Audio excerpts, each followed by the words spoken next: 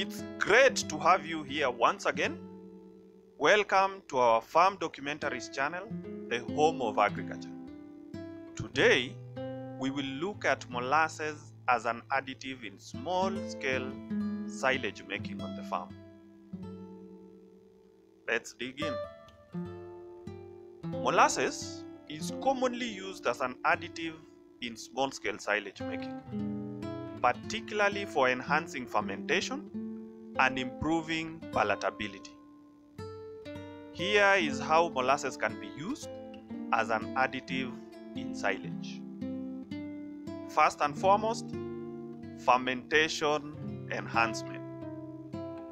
Molasses contain fermentable sugars, primarily sucrose, which serve as substrates for lactic acid bacteria, sometimes known as LAB, during fermentation. Adding molasses to silage can increase the availability of fermentable carbohydrates, leading to faster fermentation and lower pH levels. This helps to preserve the silage and inhibit the growth of spoilage microorganisms. Secondly, pH reduction. The fermentation of molasses by LAB produces lactic acid, which helps to reduce the pH of the silage quickly. Lowering the pH inhibits the growth of undesirable bacteria and molds, improving the stability and quality of the silage. Thirdly, palatability improvement. Molasses has a sweet taste that can enhance the palatability of silage, making it more attractive to animals. This can encourage higher feed intake and improve overall animal performance. Fourthly, moisture control. Molasses has hygroscopic properties, meaning it can absorb moisture from the surrounding environment.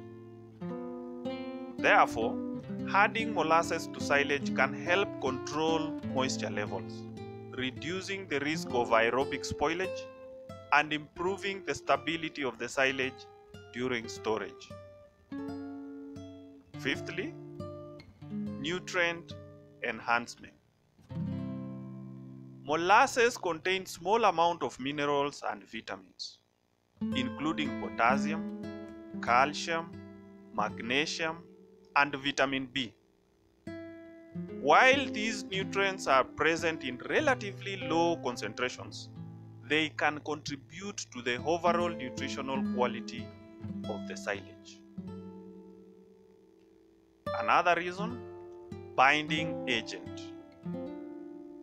Molasses can act as a binding agent, helping to hold the silage particles together and improve compaction.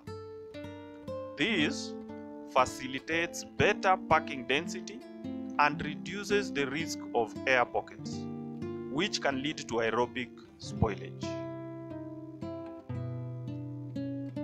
Now remember, when using molasses as an additive in silage making, it's important to consider the proper application rate to achieve the desired fermentation characteristics and nutritional balance.